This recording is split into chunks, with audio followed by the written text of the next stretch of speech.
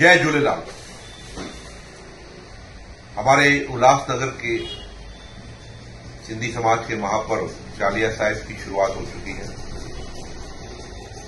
पूरे विश्व भर का प्रसिद्ध चालिया है। ये टोपी उसका प्रतीक है।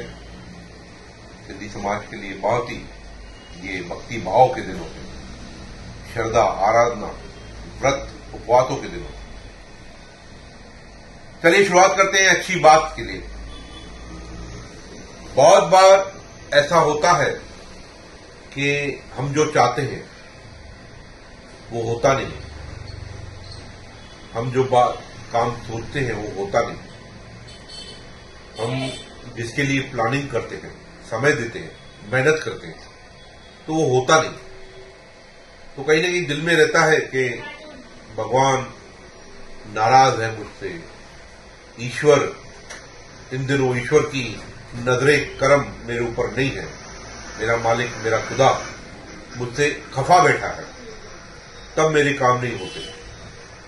जिसमें हाथ डालता हूँ, असफलता मिलती है, कामयाबी नहीं मिलती।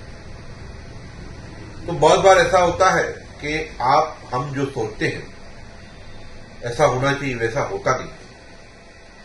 बड़े बुज़ुर्ग भी कह गए हैं, मन की हो तो अच्छा ना हो तो और अच्छा अब हम मन की चाहते हैं, हमारे मन की बात हो पर नहीं होती है। ना हो तो और अच्छा तो वो जो ना होता है, वो प्रभु की होती है।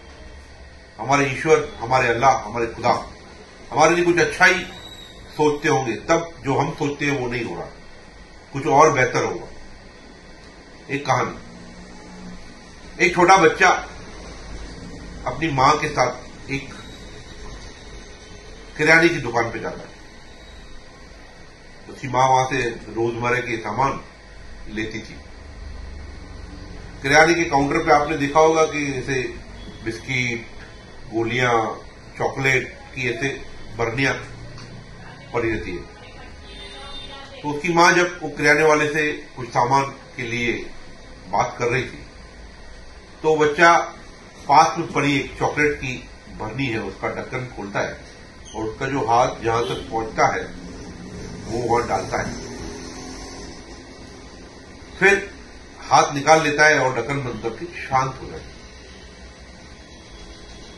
उसकी माँ की तो इस क्रिया पर, इस हरकत पर, या जो बच्चा कर रहा था, ध्यान नहीं था। पर वो दुकानदार जो था, उसका पूरा ध्यान था कि बच्चा कुछ निकालने की कर रहा था, पर शायद निकाल न पाया होगा। तब हाथ निकाल लिया और ढक्कन बंद कर दिया। छोटा सा बच्चा है, प्यारा सा बच्चा है, वो दुकान वाला।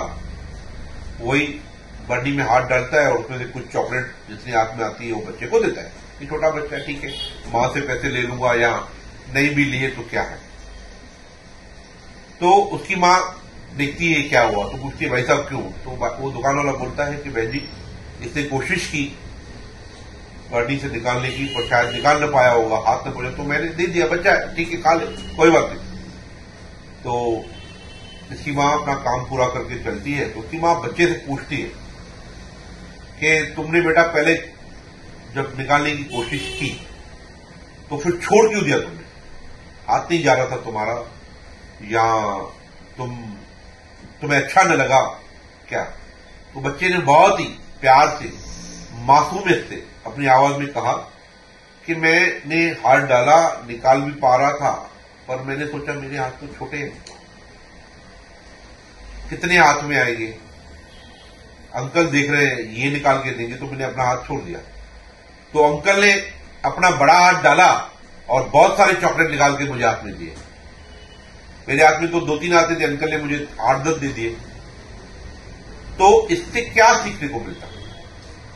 इससे यह सीखने को मिलता है, मन की हो तो अच्छा ना हो तो प्रभु की होती है वो, ईश्वर की होती है, अल्लाह की, खुदा की होती है, गुरु नानक देव की होती है झूलेलाल की होती है।